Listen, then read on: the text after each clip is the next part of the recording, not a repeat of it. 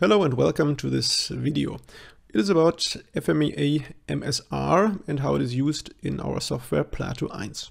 This is a practical guide, so I will not speak much about methodology, but you should of course read the corresponding chapter in the FMEA handbook first. So only a few words um, regarding what it is. MSR, it means it stands for Monitoring and System Response.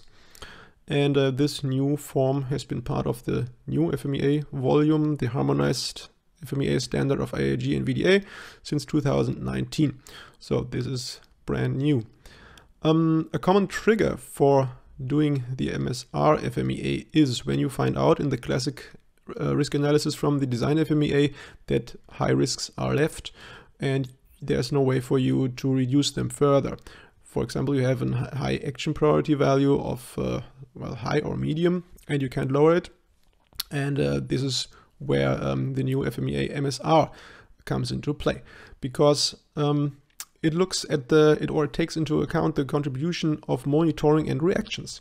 So this is something that is not um, really taken into account in the classic FMEA, but here the focus is on monitoring and reactions and there you can prove that you have good monitoring functionalities and that you can react in a fast time before the failure effect, the bad failure effect happens and that you're able in this way to block that bad failure effect and that you are able to switch to um, a less severe failure effect.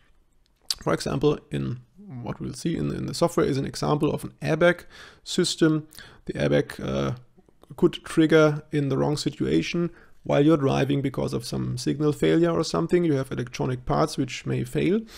And um, we don't want that, of course, that the airbag explodes into the face of the driver while driving. So there's a monitoring functionality which is always, uh, well, closely monitoring what happens and is able to detect very um, very fast that something's wrong, wrong, is going on and it can switch then it can switch off the airbag system and instead um, well deactivated and inform the driver that it's simply deactivated.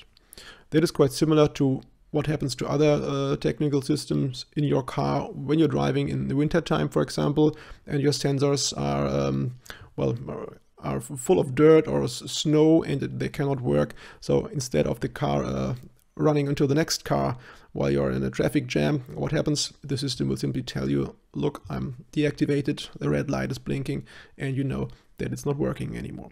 So just two examples of um, where this could be used. Let's have a look at the software. Okay, we are now in Plato e1ns in the module e1ns Architect. It is important to understand that um, FMEA MSR um, it's a combination of working in e1ns Architect, assigning functions to failures, and working in the form sheet in e1ns methods. In this example, as I said, it's the airbag system. This is our product level. We have certain sub-elements. There's a, an assembly, the central airbag control system, which contains the PCB and some components on that PCB, and some other parts which we don't look at now. It is also um, an example which connects functional safety and MSR. This is closely connected. I will not go into details here. If you like, we have other examples or other um, presentations that help you to understand the connection between those methods. Um, the classic analysis of the FMEA was done before.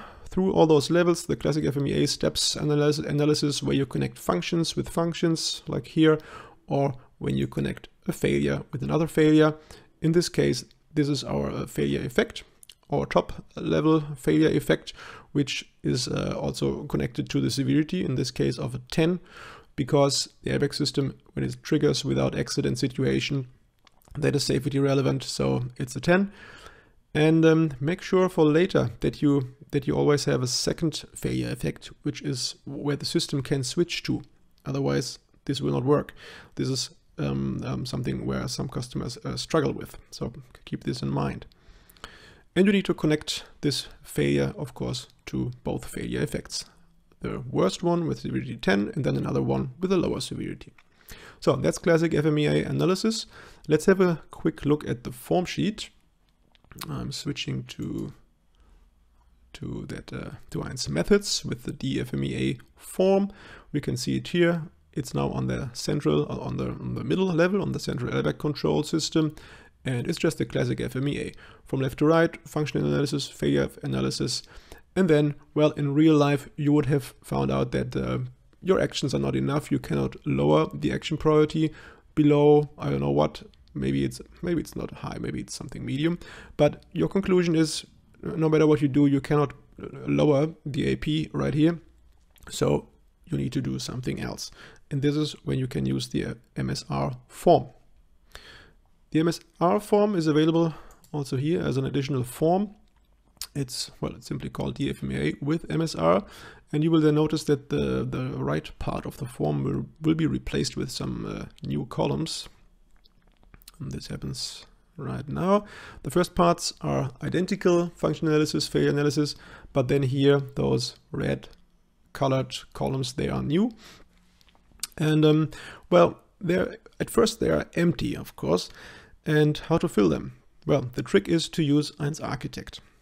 So let's go back to e1ns.architect and then I can show you how this is done. So we're right here.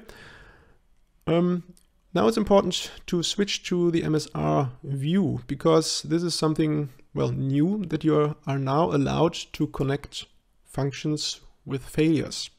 This is something which is not done in the classic FMEA analysis. There you can only connect functions with functions and failures with failures. So let's have a look. As you can see, there are no checkboxes anymore available. But instead, you find this drop-down menu where you can assign a function to a failure. And this was done right here. Only thing is you need to know which one is the function that monitors and which one is the function that's used for response. And according to that, you can select from the menu. So this function checks speed change of, uh, of crash sensor for plausibility, that is monitoring, and the other one below, that's for the response. That's all. And it means that this failure effect is then blocked. And um, as I said before, make sure you have a second one which is available, which you can use uh, in your analysis, where you can switch to. And then if you, you look at the FMEA form, the MSR form, then you can see that those columns for current monitoring controls and for current system response, they will be filled according to what we have selected in the architect view with monitoring and response. Well, also some other columns are available. As I said, please have a look at the FMEA handbook. It is explained what you can fill in here. Those percentages, they allow you to lower a little bit, um, for example, the frequency value or um, the monitoring value. Um, what else can you see? Well, from now on, since you have now selected some, some functions for monitoring and for response, you can see that this failure effect with a 10 is blocked by the function if crash sensor data is not plausible, deactivate the airbag system. So that happens. And instead of using the 10, the next failure effect will be used. In this case, it is, uh, well, the deactivation of the airbag system and an, an, error code or error message is displayed in the cockpit. Red light is blinking information to the driver. So that's a 6. And this information is repeated on the right side. You can find it here. There's, a, there's the 6 severity of uh, the failure effect after MSR. And also the 10 again is repeated right here. Well, and according to your current risk analysis in the MSR form, it's either enough right now. You can see here, it's uh, the action priority is lowered to an L too low. Or if it's still not low enough, then of course you can uh, start to, to uh, introduce new MSR actions. So this is the way how to do it. As a conclusion, make sure you have two failure effects available, one which you want to block and the other one where you want to switch to. And then make sure in Architect that you select the functions for monitoring and response, and then you can switch to the MSR form and fill in the rest of the columns.